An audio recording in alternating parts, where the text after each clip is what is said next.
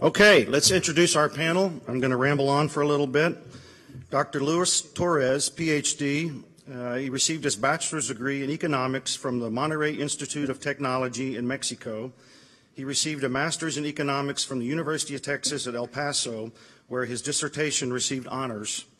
He later earned a scholarship to participate in the American Economic Association PhD program summer minority program. His PhD is from the University of Colorado at Boulder, where he specialized in interna international economics and econometrics. During his doctoral studies, he worked at the El Paso branch of the Dallas Federal Reserve. From 1995 to 2012, he was with the Banco de Mexico in the research department and the institutional liaison department. As for more than 15 years, he has central banking experience. Dr. Torres has taught classes and seminars at U.S. and Mexican universities, as well as national and international forums. He has published various articles in academic and non-academic publications about banking, international economics, trade, and applied econometrics. Please welcome Dr. Torres.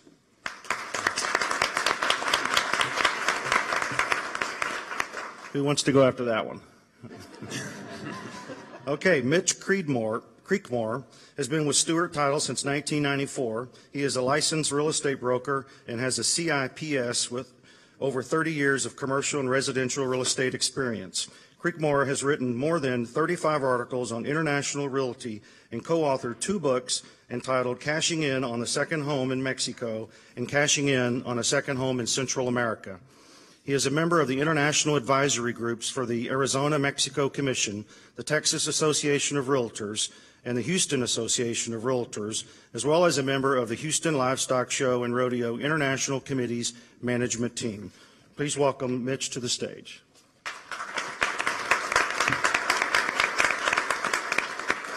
Next, Bill Hamilton. Bill grew up in Austin and attended local schools, graduating from the University of Texas with a bachelor's degree in uh, administration and accounting Bill then earned his CPA, Certified Public Accountant designation in 1978. Bill has spent most of his career in public accounting serving, serving clients. He expanded his financial service offerings with the extension of his firm, Hamilton Wealth Management, in 2009. He also spent many years participating in local civic and charitable organizations in an effort to give back to his community. Bill has a real passion for delivering world-class service to his clients Bill truly believes that his clients are more than just his clients, they are his friends. As such, he believes in fairness and reliability in all business matters in which he and his firms are involved. He considers himself very fortunate to have the privilege of working with his talented teams at both W. Hamilton and Company and Hamilton Wealth Management on a day-to-day -day basis. Please welcome Bill to the panel.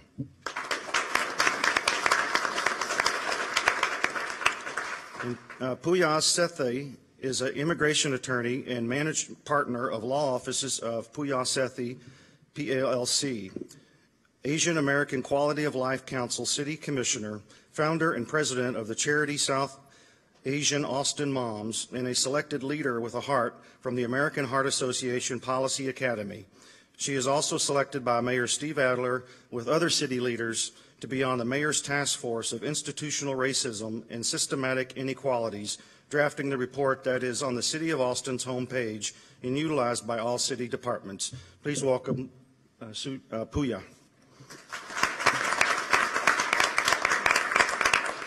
And last but not least, David Kirkenbach is an international uh, program coordinator in the Global Business Expansion Division for the City of Austin Economic Development Department. His work includes assisting local businesses in their expansion efforts to international markets and coordinating international initiatives that benefit the local community. David is a military veteran with experience in strategic planning and business performance management. While serving in the military, he worked in linguistics and collaborated with a magnitude of international governments and organizations. David first studied communications before beginning his graduate work in business administration. With over 10 years of global development efforts and a unique background, David is versed in creating long-term, meaningful relationships that span into foreign countries. Please welcome David to the panel. Okay, Dr. Torres, all yours.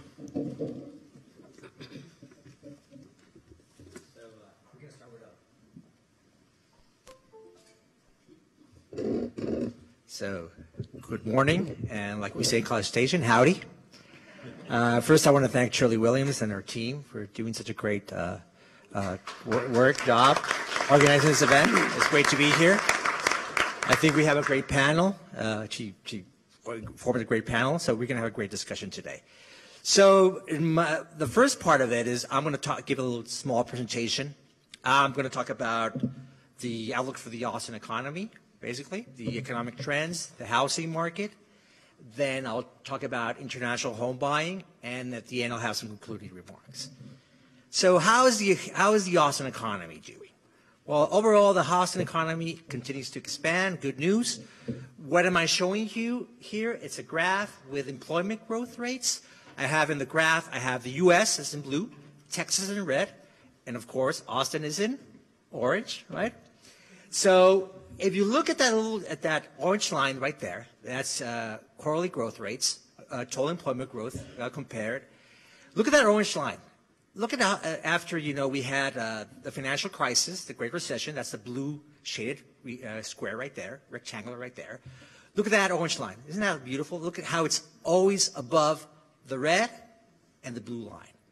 What is that showing us? That's showing us that growth in Austin was higher, employment growth, economic growth also, you can argue that also, is higher than in Texas and, and, and in, the, in the U.S.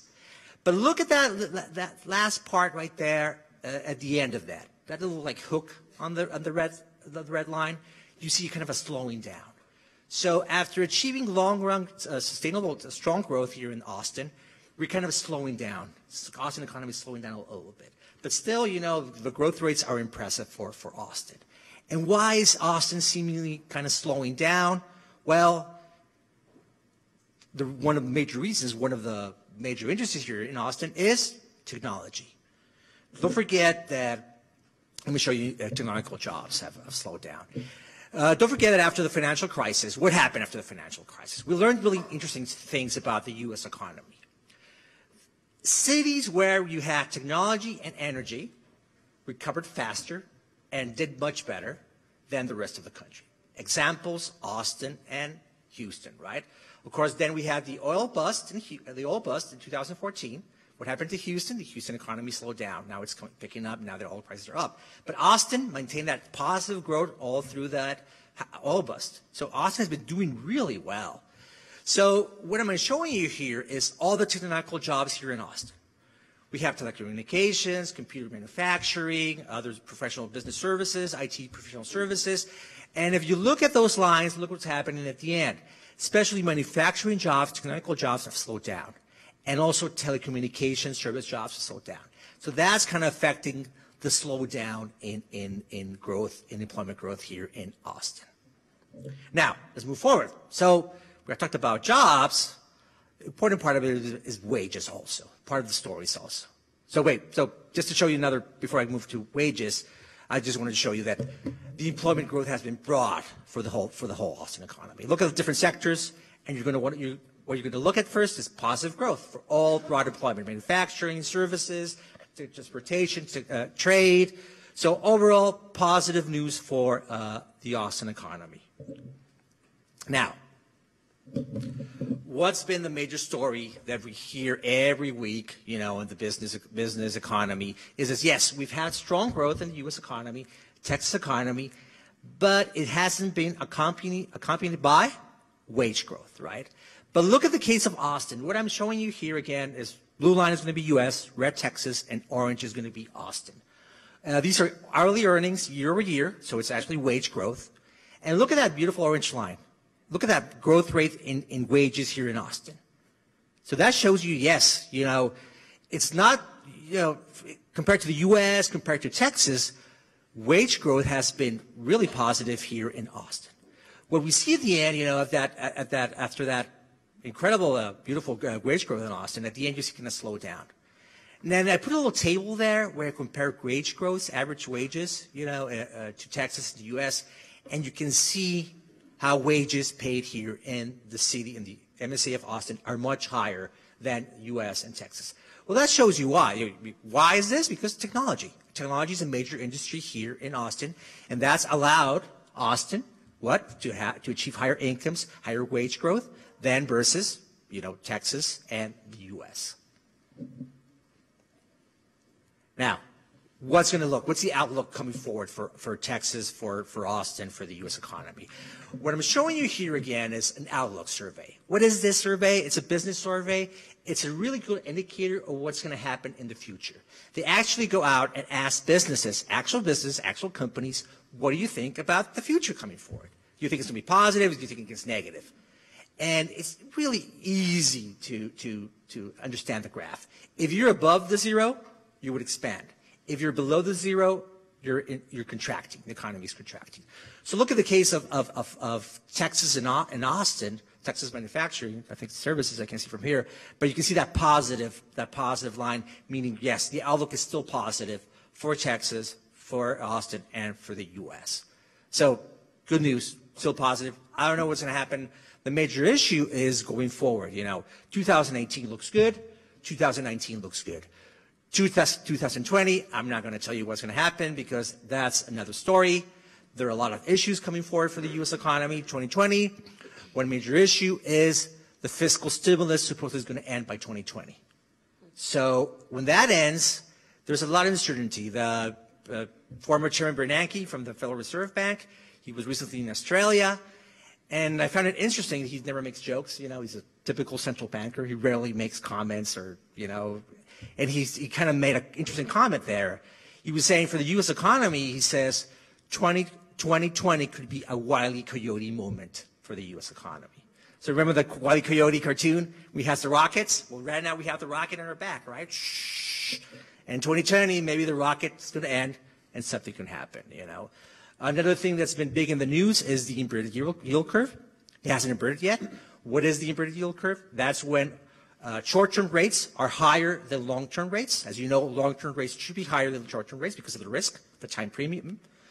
So it hasn't inverted, but the yield curve for the last past recessions has shown us that the U.S. economy, when the yield curve inverts, turns negative. When short-term rates are higher than long-term rates, for the last time, the last seven recessions, the U.S. economy has, has entered a, a, a recession. Now, the thing with the yield curve is such a good leading indicator that it has a one-year lead.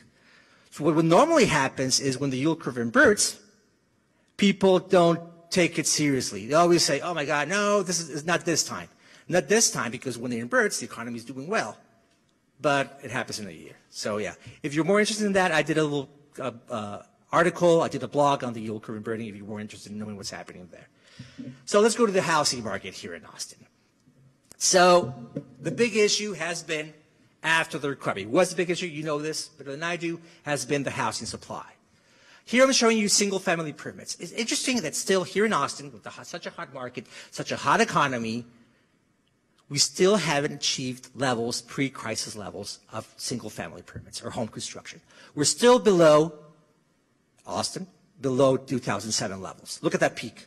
You look at that peak right there, 2007, first month, and look where we are now. We're like at 90, and it was 100. We're still below uh, supply side. So that's been the major story. You, you have realtors know low months of inventory. What's happening? We're not building the sufficient houses. Something happened after the financial crisis. What happened? Developed lots, lands. I'm going to show you now supply developed lots, especially for lots. So this is really important because if there are no lots, to, if there are no lots available, you're not going to be able to build a new home, right? So imagine like a production, like you have, you have the inputs, you're not going to produce a, an iPhone or, or, or any product. The same here for home building, new home construction. If you don't have lots, you're not going to be able to build a home. So going to what's happening in Texas. Uh, Texas has been known for its housing affordability, right? Comparative advantage. People move here. Yes, we're relatively more, more, more affordable than the rest of the country, but we're losing that. Look at the blue line. Those are lots uh, for building homes below a price tag of $200,000. What happened to that blue line for Austin? It's down, and it's still it's flat. Is it coming up? Probably not. I've heard people from, uh, especially from Metrostudy, telling me, you know what? It's going away. It's a rarity that that $200,000 home here in Texas is practically going away, vanishing, right? With that growth, we have achieved in Texas, Austin, Houston, Dallas. Now we see in Dallas also, uh, Antonio, We're losing that, no? So this is really important. It shows you the picture how the supply side has been constrained with that strong demand, right? And if you look at lots, every other lot you've seen it's come up. Home builders have lots there to build for, other, for the other different price tax, tags of homes, right? Now, sales, that's a big issue. I think it's been a news. I think you've been asking, I've been asking people before that. It's been a news. We're, we're watching this. Uh, Dallas Morning News called us the other day because Trulia came out with a report on what's happening with uh, inventory supposedly have increased and sales are slowing down. Of course, months of inventory, as you know, you're there in the market, you see the data every day, you sell the houses, you know that months of inventory is still really low. There's not a supply of homes available right now, especially if you're looking for a home with a price tag below $300,000. So here, our argument still, that little, again, Austin is going to be the, the orange line, the little hook, the hook sign, the decline at the end of, the, of that graph. It shows you that slowdown in sales. But our argument still is based on days of market, months of inventory, that is due to the lack of inventory. We still haven't seen that slowing down in demand. Maybe with the higher price price tags, but with the slowdowns, as you know, it's still strong. People still want to buy a home, especially if it's with a price tag below $300,000. And it's really difficult to find one. So hosting sales for by, by price cohort. Look what's happening here, right? You know, the blue line again is $200,000 homes, uh, price tags below $200,000. Yes, they're really low because people want to buy them. The problem is there's no homes available for $200,000. This is Austin, by the way. I'm showing you all, all, all, Austin here. So again, you see that hook line. You see that little hook for the rest of the price, price cohorts also, especially for the yellow one, for the more expensive one. But yeah, there's a little slowdown here in sales. And our argument still is the lack of months of inventory. So let's move on. Again, the argument here, months of inventory for lowest price cores are declining. We have still record lowest months of inventory. They're below almost three, almost around three months of inventory, really low. I know uh, who, who did a big thing. Trulia did a big thing because they increased, they did the percentage-wise, you know, to get the big headline. Oh, uh, months of inventory increased by 40%. Of course, if you go from 2.3 to 2.8, right? You're not going back. I would be, I would be kind of worrisome. It would be kind of worrisome if we went from 2.9 to five months of inventory, right, or six. And that would show you that the market is slowing down. But still, months of inventory are still low, as you can see, right? And that data is up to, up to June, by the way. So simple, before I, I kind of give you the answer, before I, I, I jump to the next slide, principles of micro, principles of economics, guys. What happens when you have constrained supply and strong demand? What happened to the prices? Exactly. What's happened to Austin prices? Look at the Austin prices. This is a repeat sales index. Look at the first quarter of 2007. That's 100, right? Look all the way it's risen all the way. It's about an 80% rise in housing prices here in Austin alone. It, it, it beats Texas, it beats the U.S., right? The U.S. is another, another animal right there. But look at the price, the median price. Austin has registered the highest uh, median prices than the rest of the four major MSAs. So that's a huge increase, 80% increase in 11 years uh, here in, in, in, the Austin MSA. So that's an impressive, showing you the strength of the market still, right? Uh, and by the way, just a little plug there from the Real Estate Center, we're going to come up with our own repeat sales index. We're going to publish that later on. So we're going to have our own pub uh, for Austin, for Dallas, for uh, Houston, for San Antonio. We're going to have our own repeat sales index, better than the Case-Shiller index that's published and only has Dallas included. We're going to have one for Austin. So we're coming up with new products also to measure what's happening here in the housing market in Texas. Now, so what's happening now? I kind of showed you wages, yes, are growing a lot here in Austin because of technology. But overall, what's been the issue here? Prices are risen, uh, are risen at a very high rate. But the major problem here is that income hasn't kept up with price increases. I didn't bring it with me, but I have a really cool graph where I, where I show, compare all the way back to the 70s, 70s, I'm talking about 70s, housing prices and, and disposable income here in Texas. Disposable income in Texas always rise at a higher level here in Texas than housing prices. But after 2000, after 2012, that changed. Housing prices are rising at a higher rate than income levels here in the state of Texas. So it's going back to what I said earlier. We're losing that competitive advantage here in Texas. And of course, what happens? Then you have affordability issue here. This is our affordability index. We're still more affordable than the, the Austin is still, still affordable, but you know, you have seen the decline, right, in affordability. Here I have the, the four major MSAs. Uh, Dallas is less because the, the, the the recent rise in, in, in, in, in housing prices have affected more the, the affordability and because, you know, income hasn't risen that faster. So th- that shows you that the price we're paying for that growth, right? Yes, income prices are prices are going at a higher rate, but the problem is income is not keeping up with, with those with those prices, and it's affecting affordability. Now let's talk about international home buying. So what's happening in the market? So simple. I, I like this graph. This graph tells you everything. You know, you have I'm showing you world GDP growth, world income growth, and I'm showing you purchases by foreigners in the U.S. Look at the relationship. It's straightforward. When the little red line goes down, that's world GDP. I can't see from here. Yep. When that little red line goes down, the, those blue boxes go down. When it goes up, the blue boxes go down. What is he telling you? When the rest of the world is doing well, when the world is doing well, there are going to be more foreign purchases here in the U.S. As simple as that. So, increase when positive global growth momentum increased, even when facing, it's interesting, even when, you know, we had all this uncertainty because of the globalization, anti-globalization, the big nationalization, the, trends right now about against globalization, international trade, uncertainty of great immigration here in the U.S., you still had that positive increase when the world GDP increased. So there's still that strong relationship with that. So, what are the top countries? China still is the top country. Here we have well, the top five. You know this is China, India, England, Mexico, in Canada, of course. So these are the top countries. You've seen that growth in, in China.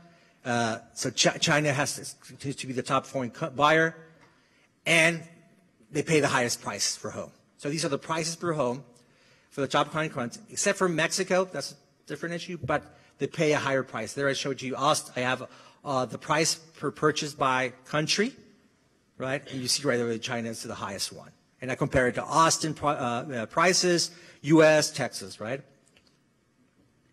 Now, what are the four states that make up the majority of the foreign purchases? Well, of course, Texas is one of them.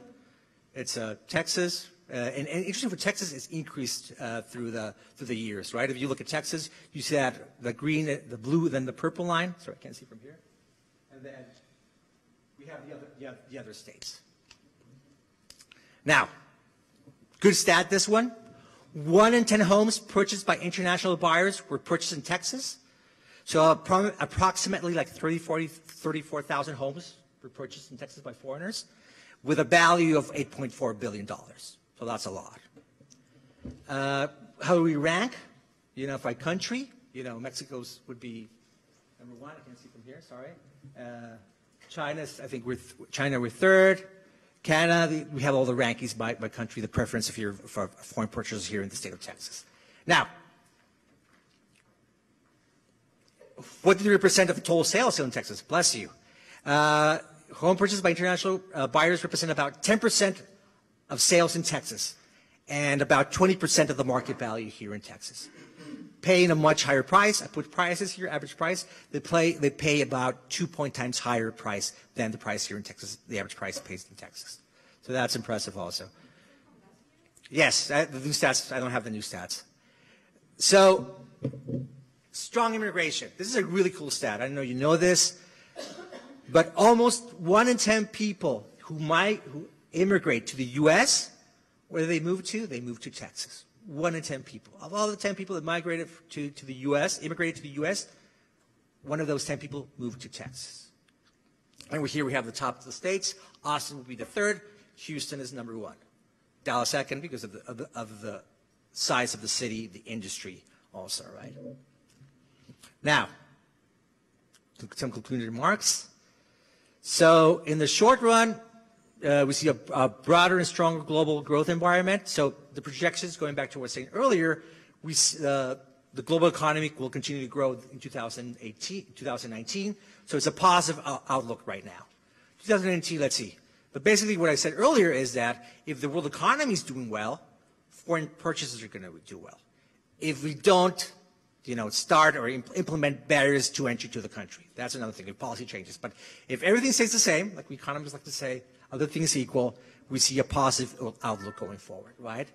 Uh, if China, especially India, maintain their growth rates, they have the potential to increase the number of foreign purchases. Now, going forward, China and India is interesting. Uh, I know you know this. Steve knows this because I was there in Dallas.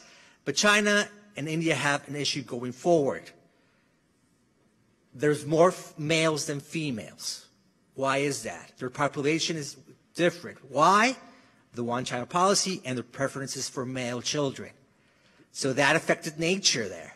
Nature is wise. Nature always gives you in every specimen, especially human specimen, gives you more females than males. But China has a big issue going forward. There are more males than females. So that can affect, we see that's that, how that works out. But that's a, that, that's a reality.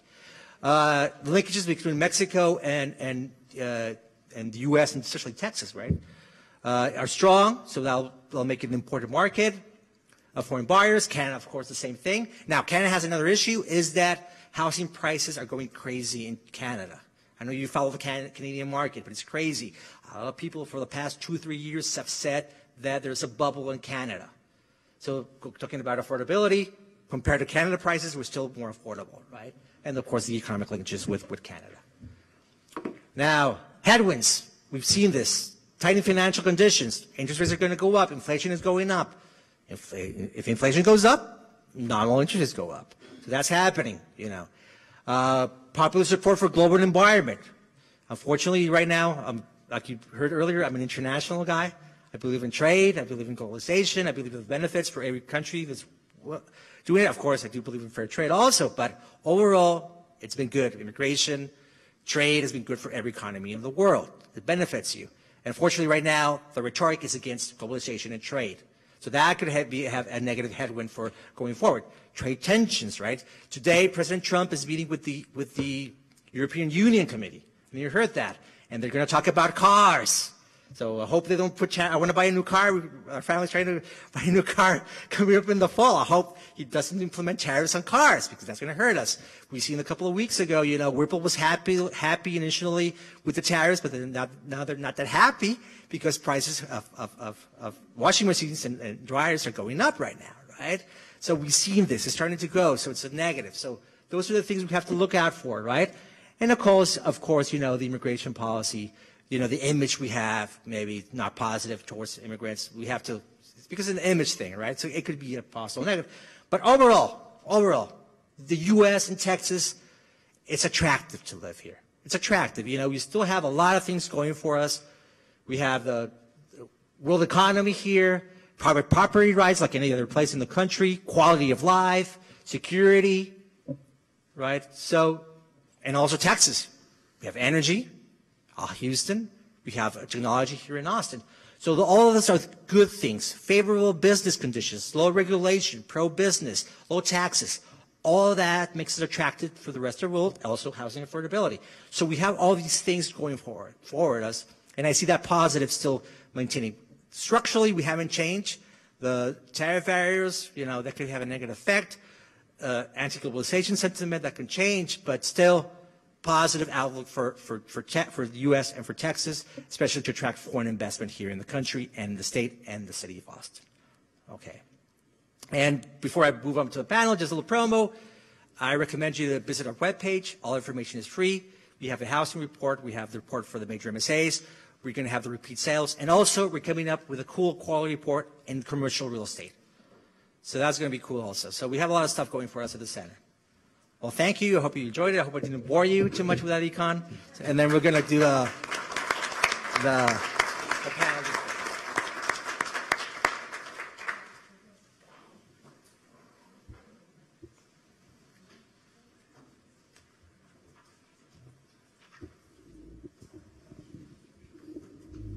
So now it's, it's my time to get out of the way, and here we have this, this great panel. This great panel. So let me start then. We'll start with the panel discussions. So well, let's welcome again Pooja. Welcome, welcome, David, Thank Michael, you. and Bill. Thank you for being here. It's a pleasure to be here in this panel and having a opportunity to talk about this this issue, this issue, especially for foreign buyers, especially your expertise. So let's start with David. David. Great. You kind of mentioned to me that, you know, uh, approximately 151 people a day moved to Austin. That's impressive, don't you think? 100 people moved to Austin a day. And this number is slightly lower than the past, yeah, but still a large influx. Uh, why, do, what do you attribute as, as to why so many are choosing to make Austin their home? Well, first off, I just want to say thank you for everybody who organized this, and it's an honor to be a part of this even. So it's a great event, and thank you.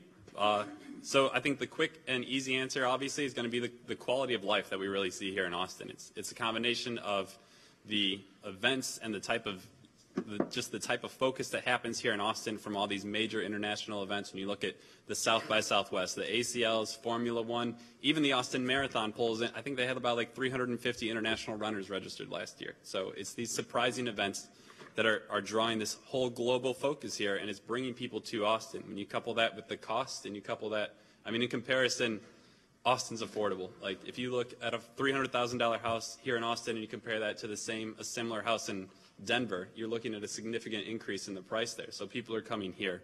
Uh, there's, I know you, there was mention of things slowing down, but internationally, uh, I think Austin is just starting to become really known.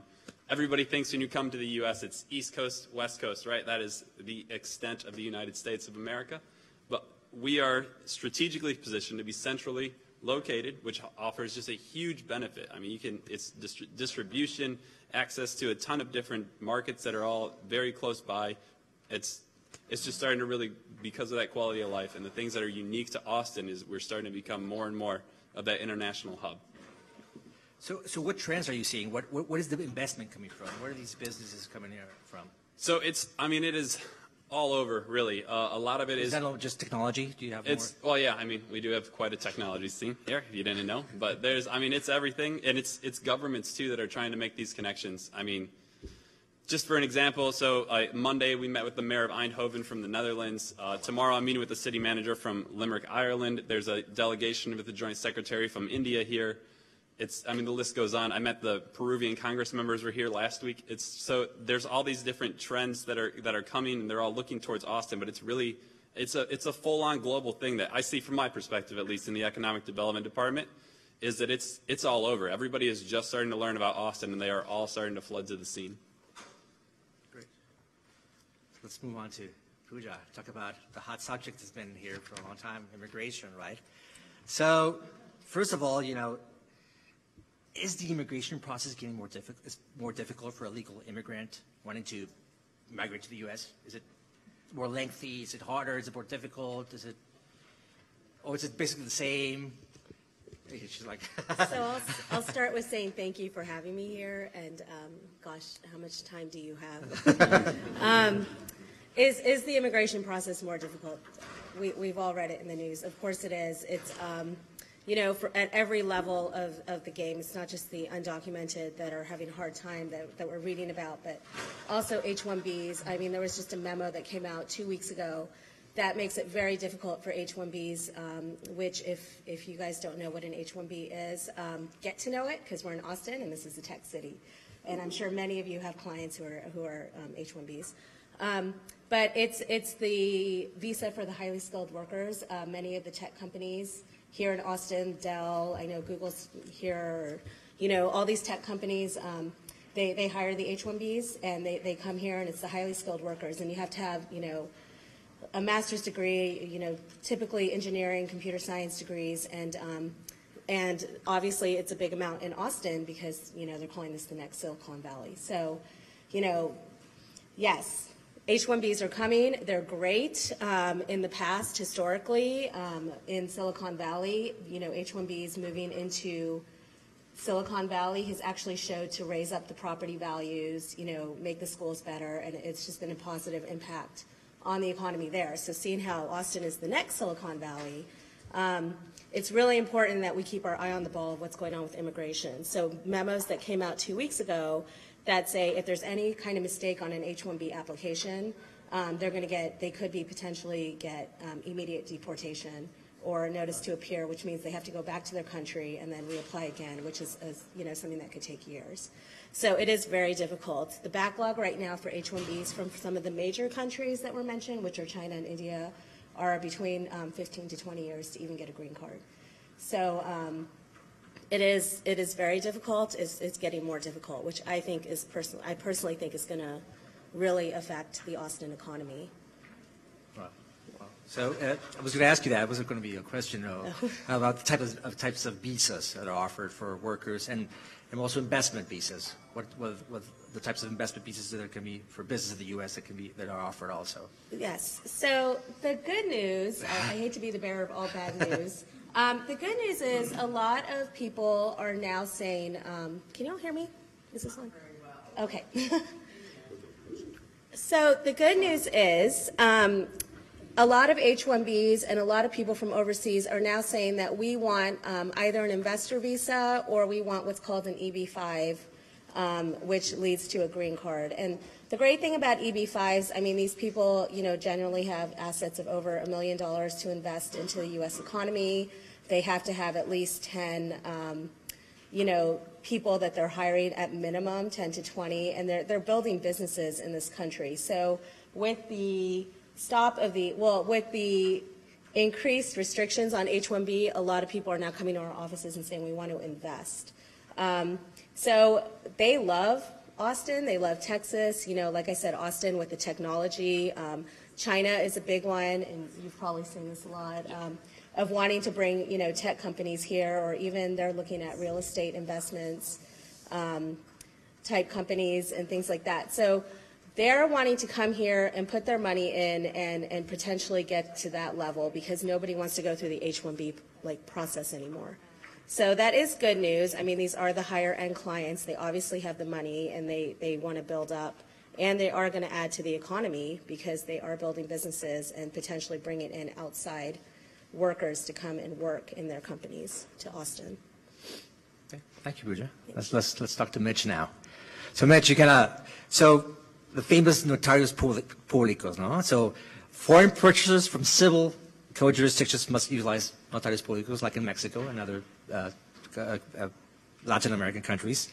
So for the establishment of property rights, uh, conveyances, conveyances, fiscal responsibilities. So how is it different in the United States? Well, the concept of title insurance is 150 years old in our country. The first title company came into existence in Pennsylvania within the first 100 years of our inception, which is pretty surprising, pretty amazing when you think about it.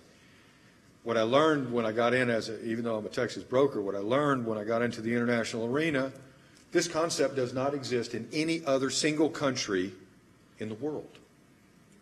Why is that?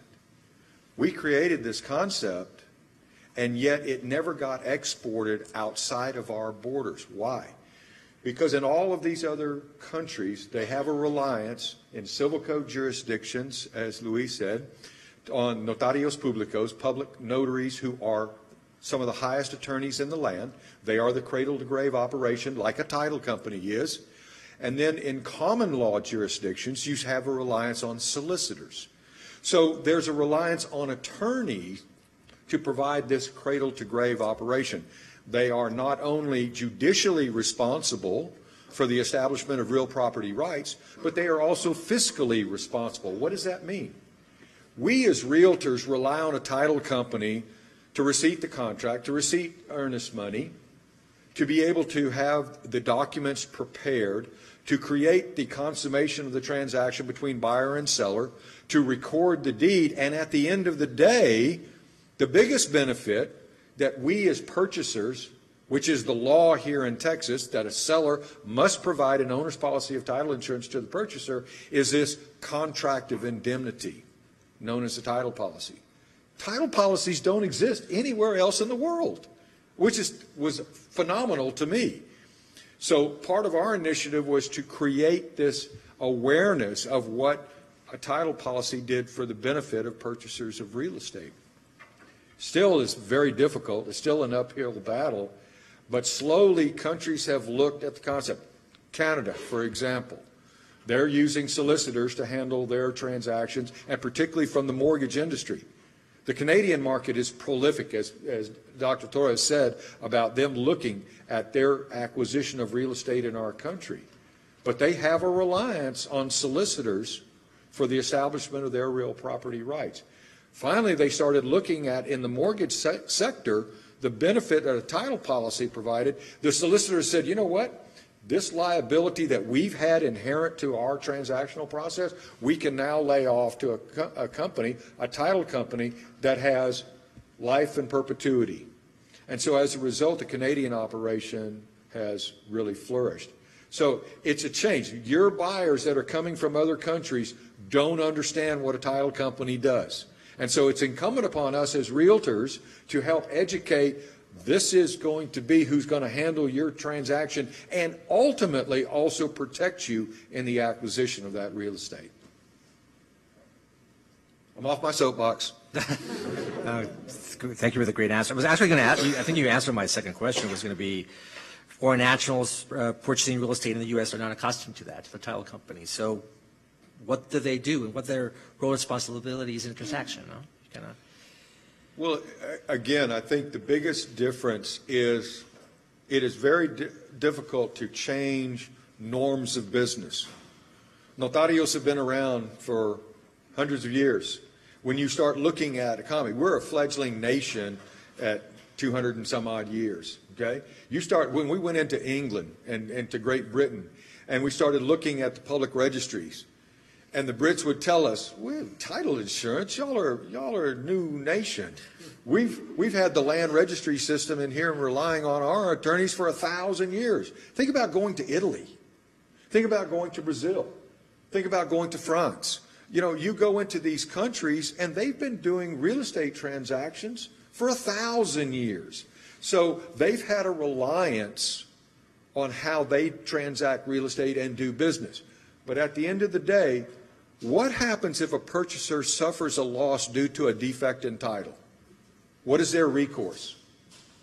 They have to sue the seller. You do not sue notaries, you do not sue uh, solicitors in these countries.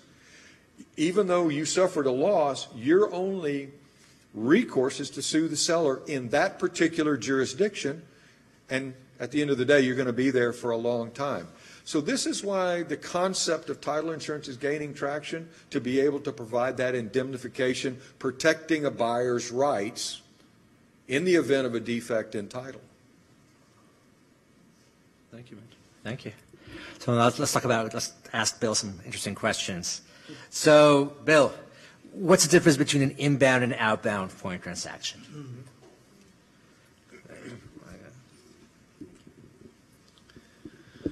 First of all, I also want to say thank you for having us here today. We're really uh, enjoying being a part of this uh, global day at the Austin Board of Realtors.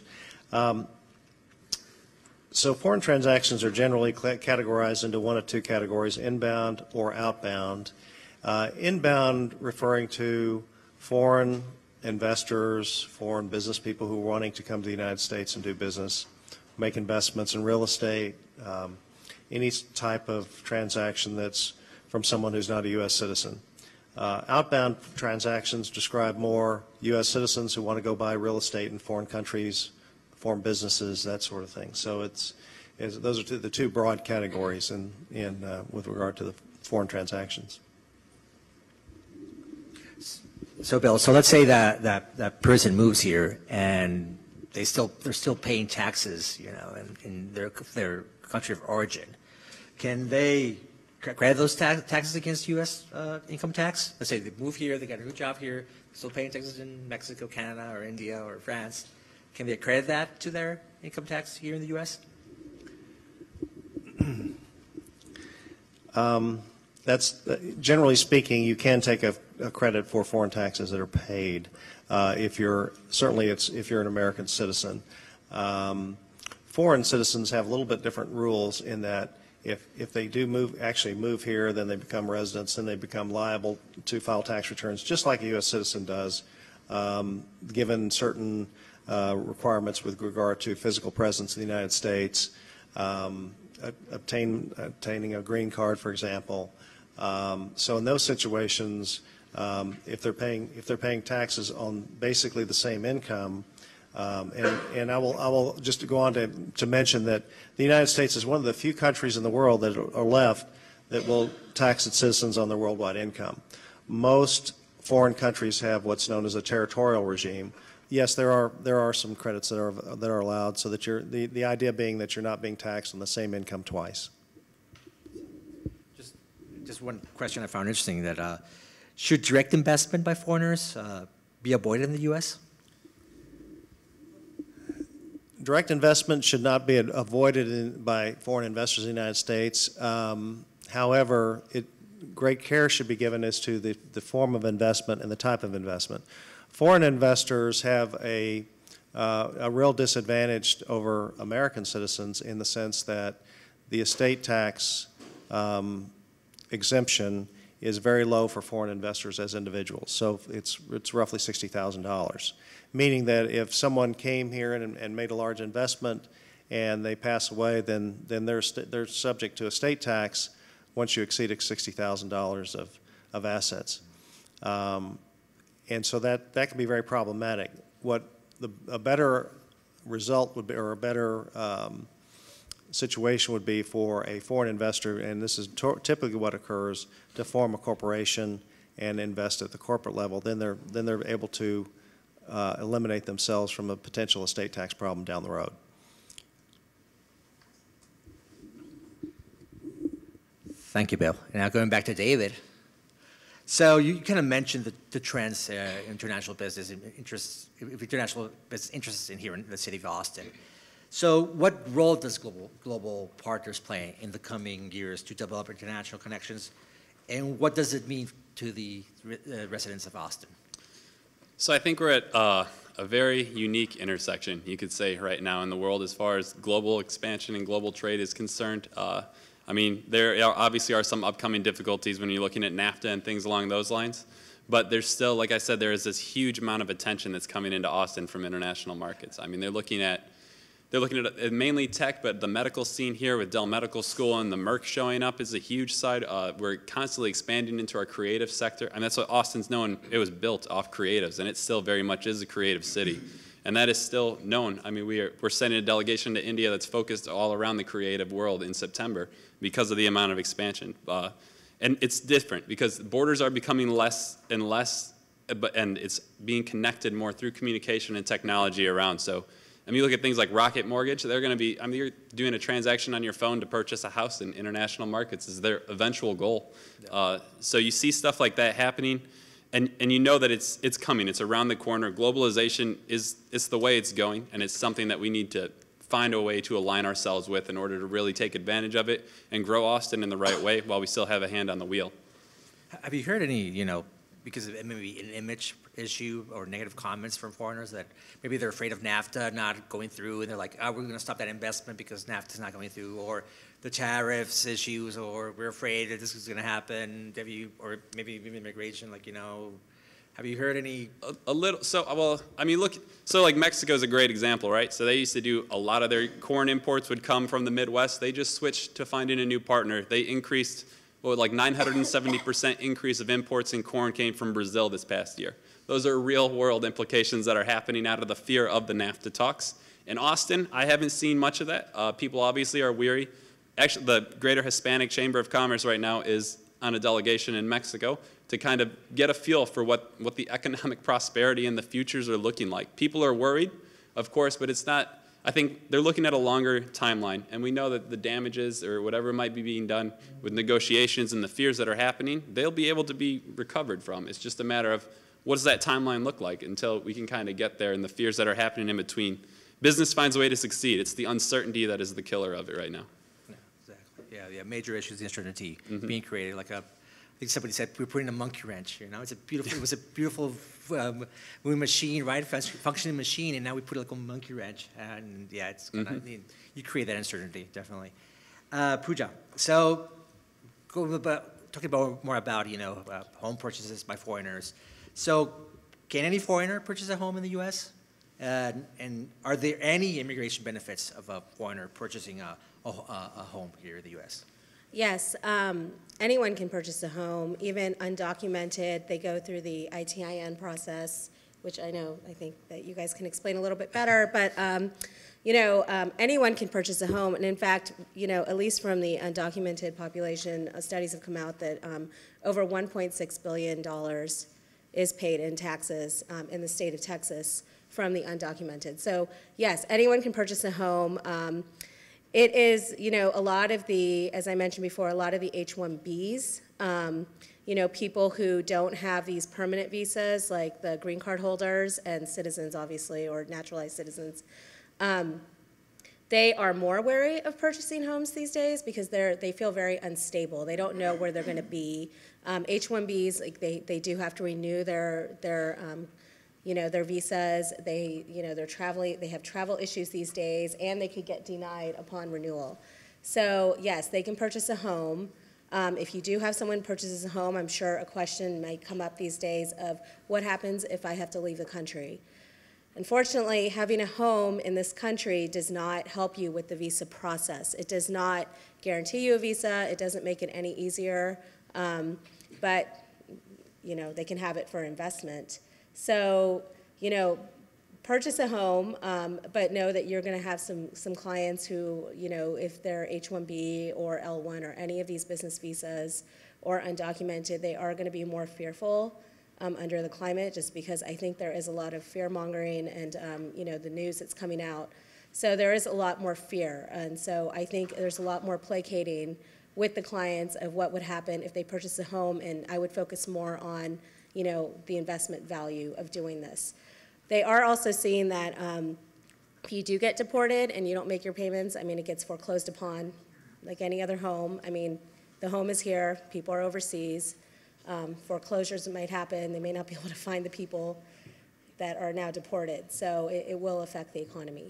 For green card holders, um, legal permanent residents, one thing that would be great is um, you know, they have residence here, you know, and what's good is if they want to apply for citizenship and they travel a lot, what they always look for as one of the bases is, do you have a residence in this country? Are you maintaining it?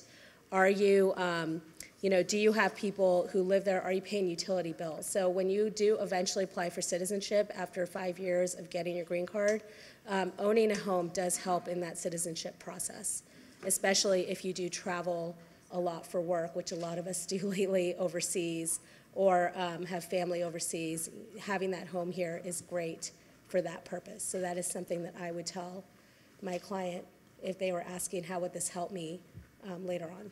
Yeah.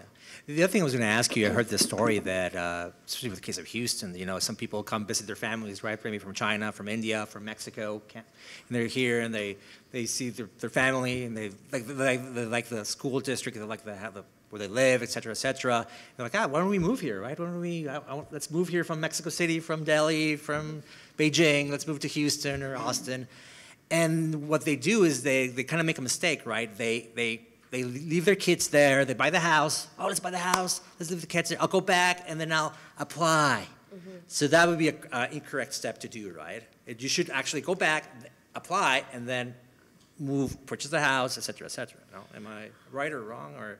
Well, it just depends. So, a little personal story about myself. Um, my father um, worked for an American oil company, Aramco, um, overseas, but he bought a house. I mean, he was a green card holder at the time, but he bought a house for the purpose of I'm eventually going to move to the United States, and I, you know, housing prices are going up, so I'm going to buy, I'm going to rent it out, and eventually. So I think it just depends on you know, what visa they're looking for. Yeah, maybe it's a tourist vis- visa, is. right? You're coming in a tourist vis- visa. Well, a tourist visa, yes, it is very risky to just say, I'm going to come and buy a house. I mean, I, I think that's the same with any country, not just the United States. I mean, any place that you go, any country you go and just buy a house, there's no guarantee that you can just live there indefinitely or become a resident. And it's not going to help you with your visa application. In fact, for a tourist visa, if you do buy a house, you know, one of the intentions of a tourist visa is I don't want to reside or settle in the United States, and you are telling the consulate that. So if you have a house, it might be a little contradictory to what your intentions are, and that would actually work against you. So, Just one other question. Let's say somebody gets deported and they have, they own a house. What would happen, would that house be sale? Could they sell it off? Would the government sell it? Or what would happen to that property? I mean, the owner could sell it before deportation, or they can keep paying mortgage payments and hold on to it for investment purposes, or have family and friends manage it, or it could just get foreclosed upon. Um, there's no guarantee that they can come back into the country and actually take care of their home. So it, it's just a piece of property in this land at that point that they have no right, they, ha- they have no immigration visa right to come see it. Thank you, Pooja. Thank you. So, Mitch, how does the cost of a typical residential transaction in Texas differ from other countries? Sixty-four dollar question, right, Louis? Okay, so we're accustomed to having low transactional cost typically here in Texas and around the country. Um, And my title company associates could tell you that, you know, generally speaking, it's going to be about one to two percent, not including commissions, but all in to work with a title company that's going to handle the transaction, okay? I'll use Mexico as an example. Whether you're a Mexican national, well, let's, let's use us as Americans purchasing in, in Mexico. So we identify the property. The first thing we've got to obtain, because we are foreign nationals and not Mexican nationals, is we've got to obtain a trust permit. I'm talking about residential properties located in the restricted zone of Mexico. Okay, and I don't want to get off because I can lose y'all real fast in, in all this. It's not the same when you're buying a beach front property or something along the border versus buying in Mexico City or San Miguel de Allende, because that's in the interior and they're not located in the restricted zone. So when you're buying beachfront properties that are in the restricted zone as defined, and that's all of the beaches in Mexico, all the coastline, all of the border within 62 miles of the United States, you have to have a foreign trust permit. You have to establish what is known as a fideicomiso, a bank trust. The transfer tax on these transactions at the outset paid to the federal government of Mexico is 2% of the transaction value, what we call the declared value. You have to pay the notary fees, okay, because the buyer pays for everything.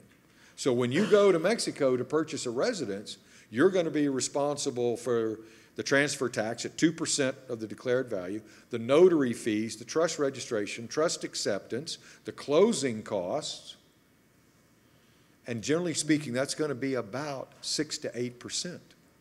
So compare that to the United States at 1 to 2%. So you can see the difference in the transactional level.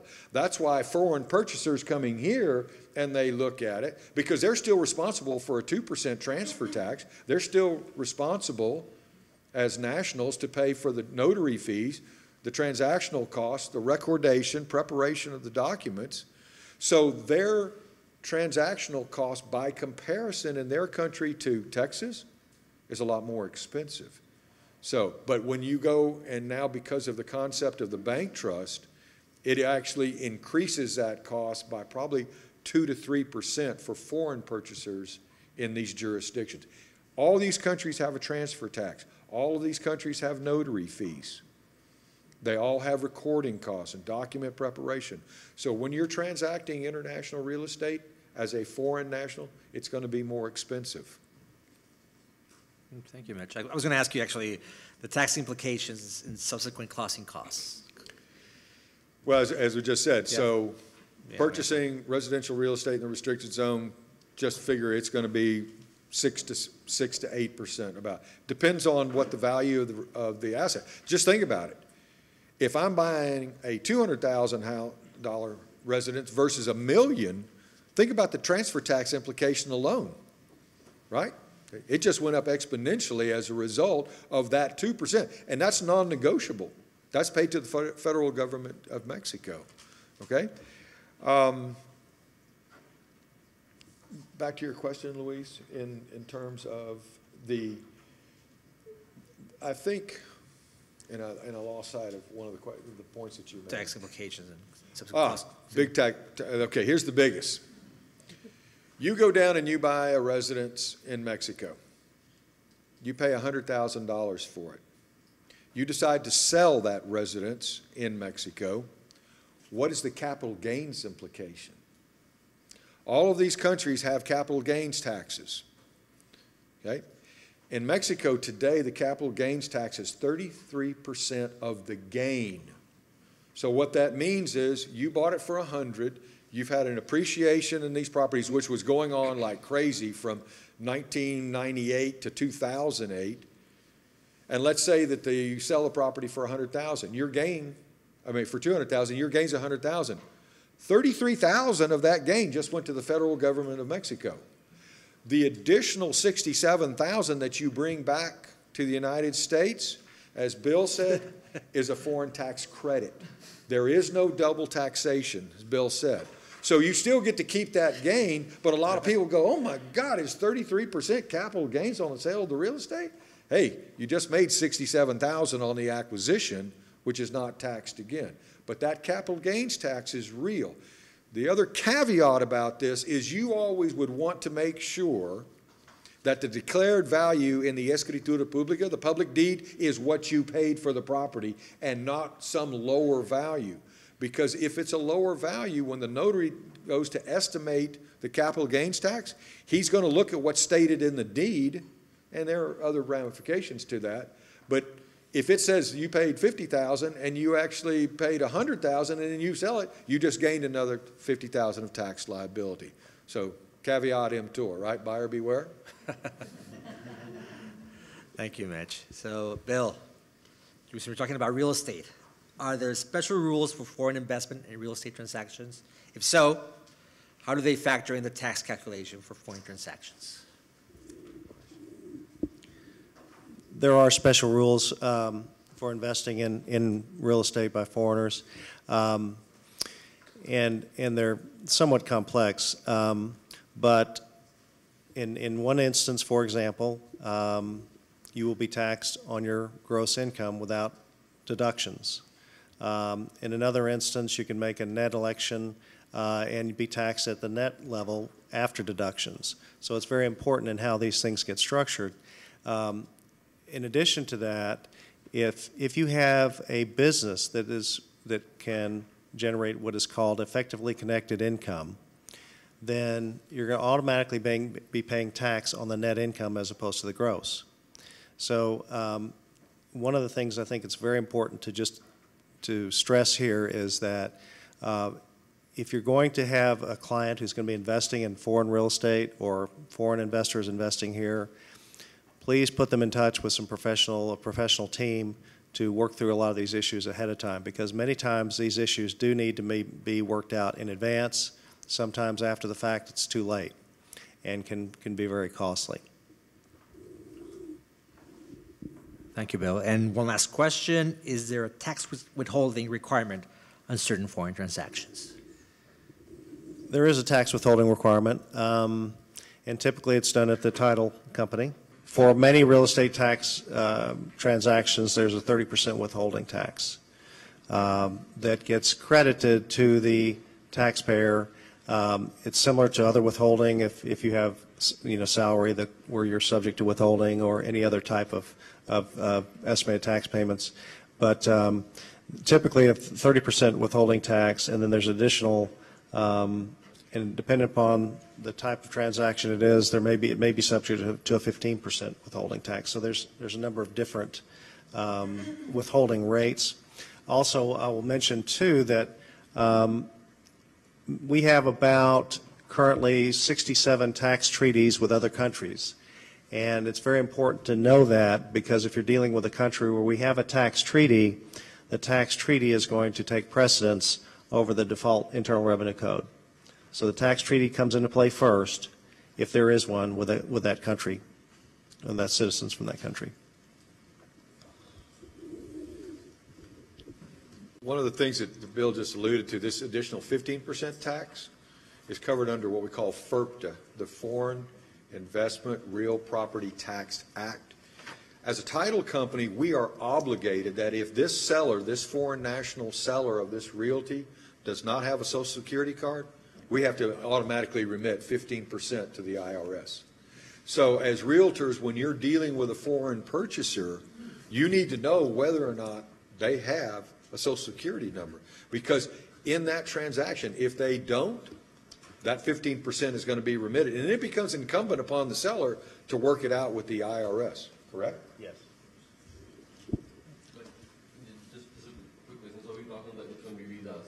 So for the purpose of that withholding, are they will be considered uh, foreign nationals or are they considered uh, residents? I'll let you answer that. In terms of tax withholding? Yes. I mean, they're not residents for immigration purposes, um, but they do have social security numbers, so, Then they wouldn't have that fifteen percent. right. Right. Thank you for that intervention. Yeah, I was going to actually, I was going to open up for questions. I believe it only applies to transactions above a certain amount anyway. For the, There's, there's exemptions for transactions under three hundred thousand on the withholding, not on paying the taxes. Right. So That's why I didn't think there was any exemption about paying taxes. the taxes still have to be paid. Right. And right. there's also an exemption above half a million for the amount of withholding is is reduced. But, Right. you know, you've got to be careful in any case because whether, whether or not the taxes are withheld, they still have to be paid. And the buyer is responsible. Yeah. So yes, let's open it up for more questions, please. So some the gentleman over there, let me. I'll,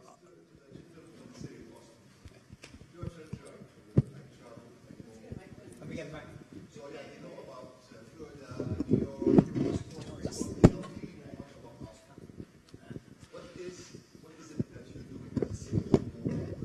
yourself? How can you help us also to promote Austin? So I mean, it. I, the the question the question was what so a lot of people don't know about Austin. So what is the city's efforts in trying to get Austin known around internationally? Is that essentially what you're asking?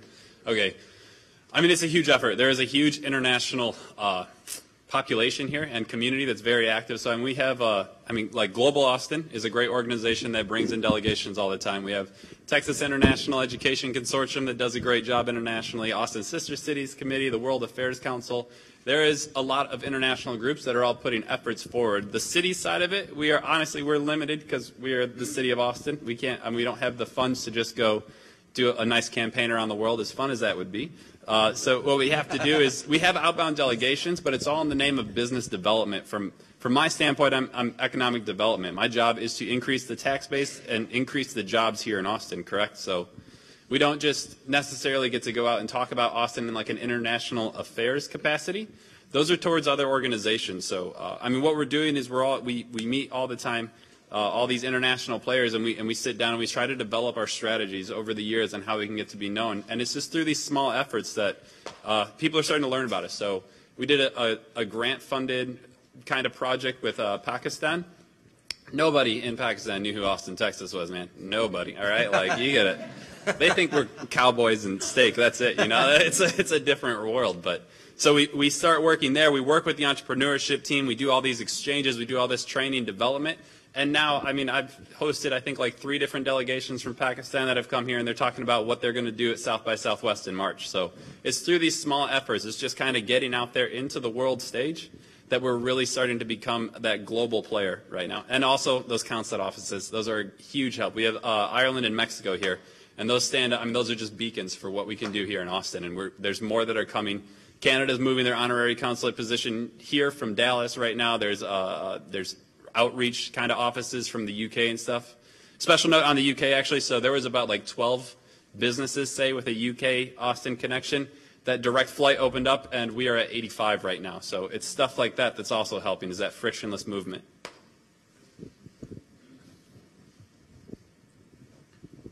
I have a comment and a question. When I took the TAR cruise for the CIPS course, and we went to Mexico three stops, they didn't know about Austin, which I found very interesting. And when I made a connection with the real estate folks in the in Mexico through the ports, I send them the welcome uh, newcomer information from the chamber, and that tells them a lot about Austin, so that they can um, attract buyers in their country to us. The question that I have is, if I also have Mexican citizenship and I buy property in Mexico, how does that work? With, if I buy using my Mexico passport, how does that work? You have every right, as a, uh, carrying a Mexican passport, to purchase property as a Mexican national because you carry the passport. In terms of taxes? It's not going to be any different. Again, well, the difference would be you avoid the fideicomiso, you avoid the bank trust. But all the other tax implications and closing costs are the same, whether you're a Mexican national or a foreign national. But here's the caveat. Are you married? Thankfully, no.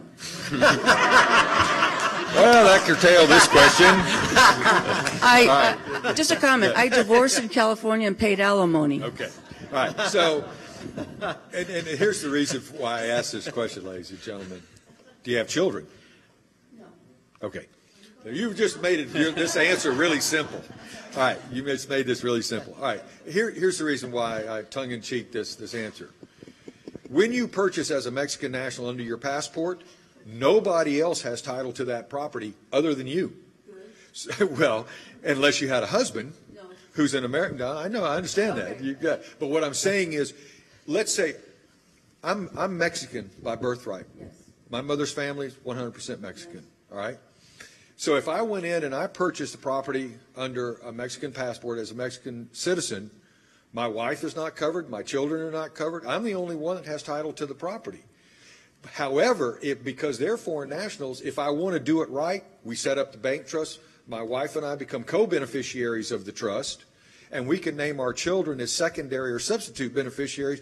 Now they don't have to go probate a will in Mexico, God forbid, upon our demise. So it's, it's, that's the caveat. You can certainly buy property under your passport. You're not going to have to do the bank trust anywhere in Mexico. But the other taxes subject away from the fideicomiso, the bank trust, are going to be the same. What I was asking is U.S. taxes, do I have to pay those? No. Well, You get credit. you get credit. If you're taxed of it, let's say you sell the property. It's complex, we could talk later. No, no, but if you sell the property, Yes. okay, you're still subject to capital gains tax, whatever it gets calculated at, based on your bet. But you don't get taxed again here in the United States for the money that you would bring back. Okay, great, thank you. It gets reported on your U.S. return, but you get credit for the taxes that you pay in Mexico. Correct. Thank you. Hi. Jim Smith of the Property Management Company. If I may, a couple of distinctions. The 15% tax that you have to pay for somebody who does not have a TIN number, that's based on the gross sales price. That's not on net proceeds. That's correct. And I think it's important that people understand that. Correct. The second thing is regarding the 30% withholding, there's two other factors on there that need to be aware of. If you're doing, uh, uh, if we have uh, non-resident clients that own properties here, and that 30%, we have to withhold on gross rents as well. And that's not just the rental price, but there's any CAM charges or anything else we collect. That 30% is based on the actual total number, the gross number that we receive. And there's additional requirements on how quickly you have to turn that in based on the amount of money you receive at any specific time period.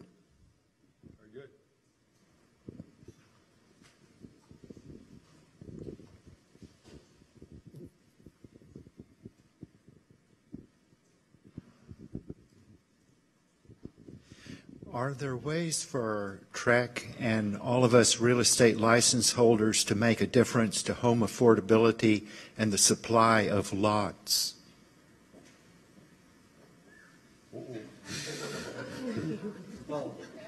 You got a question? Well, actually, no, it'd be difficult because, you know, you're not a, a home builder, you know, the, the lots issue has a, is a, has a different problem coming from that. It's a more a structural issue, regulation, local regulation, credit regulation, uh, Dodd-Frank affected the ability for a lot of, of, of home builders to get financing to develop lots. So it's more, you know, a structural issue from the supply side of, of, of construction. You're more on the demand side, right? So, but yeah, it's more a, a supply issue that we have, not only in Texas, but in the U.S. now.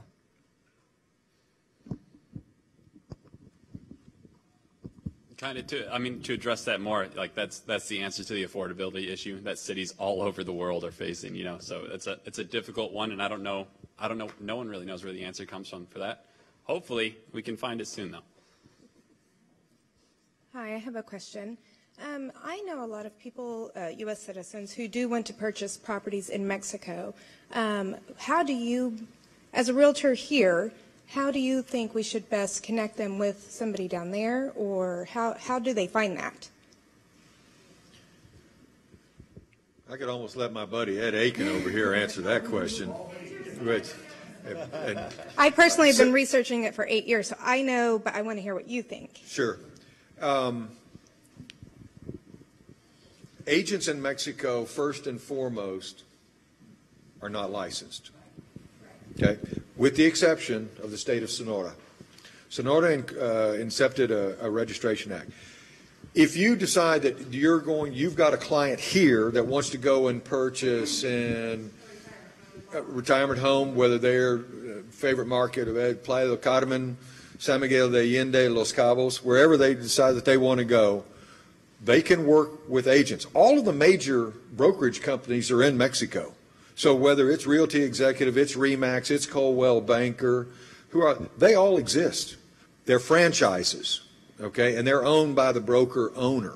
Okay, so you would want to refer your client to an agent in that particular market that can show that, and they can work with multiple agents because they may have, you know, the the exclusive right to sell agreement in Mexico is not like it is here in Texas. Be aware, okay? But they are the ones that are on site that can show them various properties in that particular locale. You can be paid a referral fee, okay? Brokers in our agents, I said they're not brokers. Agents in Mexico are not accustomed to, to transacting on a 50-50 basis.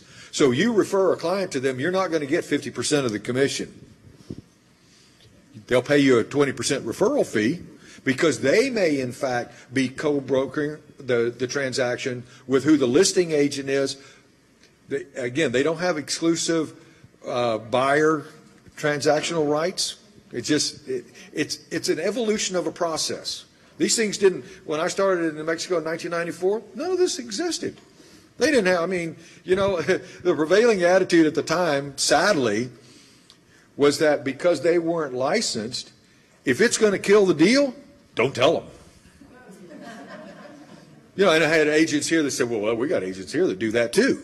But the, the issue is with this awareness that got created about the transactional process and Americans becoming much more educated about the transactional process, they had to up the ante and become much more professional and have a higher level of integrity about the transactional process. So it's been a real change beneficially for the market. But that's how what you would want to do. Let them pick whatever market they like.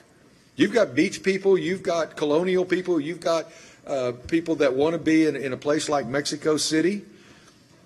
They can go, but there are agents and brokerage companies in all of those cities that can help your client, and then you can still be compensated for that. How many of you are CIPSs?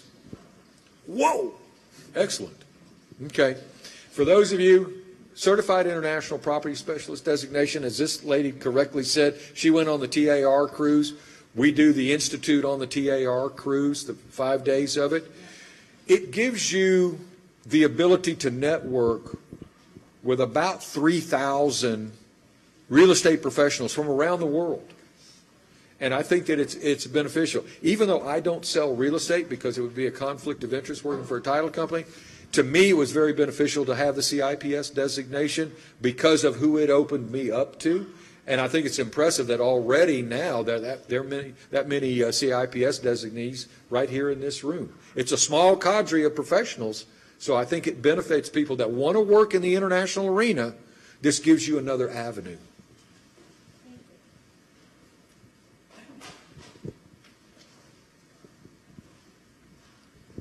Thank you. Following a little bit on her, on on her question is, how much of a foreign investment are you seeing in Mexico? So why were you seeking to open a title company in Mexico? Uh, this is the $74 question. okay, so why did we start in 1994? NAFTA and the changes in the foreign investment law that the Mexican government instituted, which were monumental and they were very significant.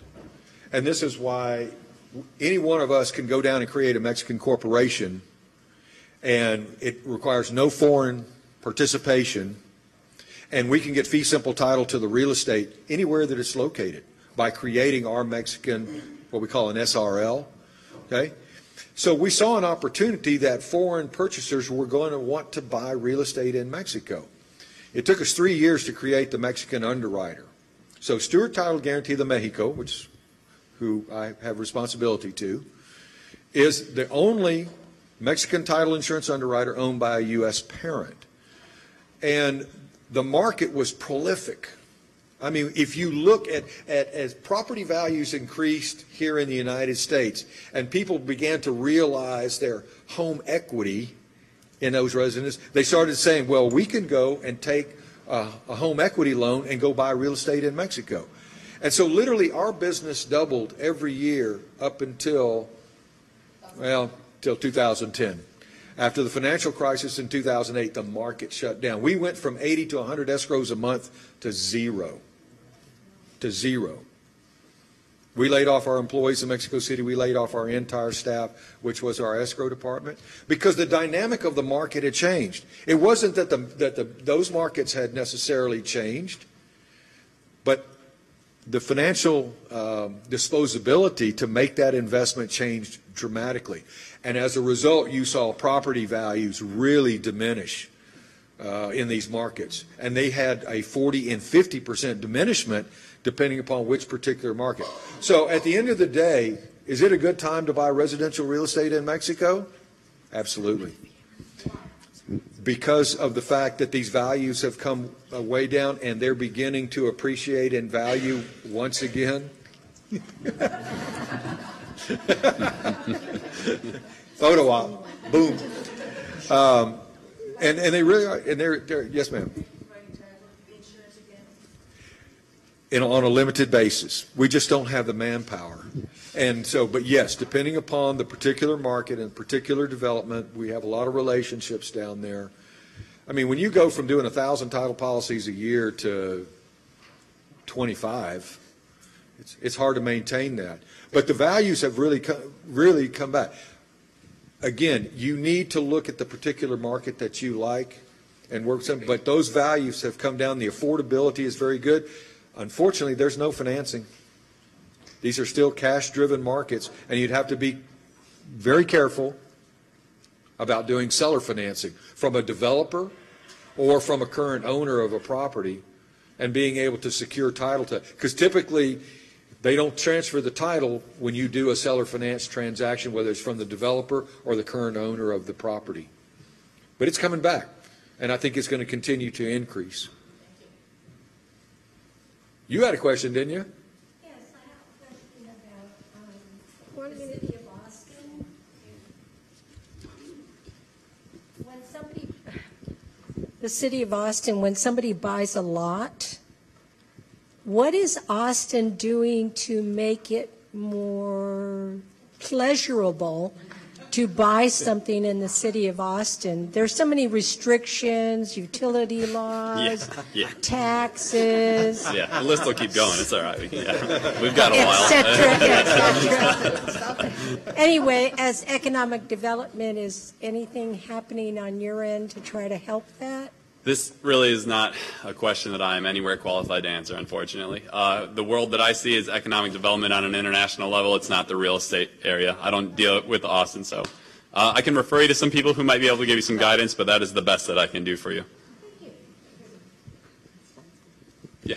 But yeah, home, home builders complain a, a lot about that, by the way. So we, we hear the home builders saying, you know, those issues you mentioned, regulation taxes, and that's one of the reasons why it's affecting the, the, the, the construction of new homes in the state of Texas. Because, you know, before what happened, you know, demand would increase by 100 houses, the builders would, would build 100 houses.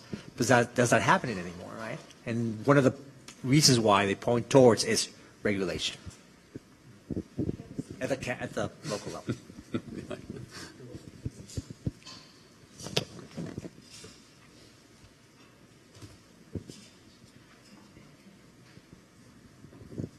Hey, Francis Moreno with Magnolia Realty. I wanted to ask, is there a minimum, is- and this is a legal slash CPA question, is there a legal amount of real estate that a foreigner can purchase in the United States of America that guarantees and/or protects opportunity for citizenship? As in, can you hear me? As in, if they buy a certain amount, can they guarantee citizenship?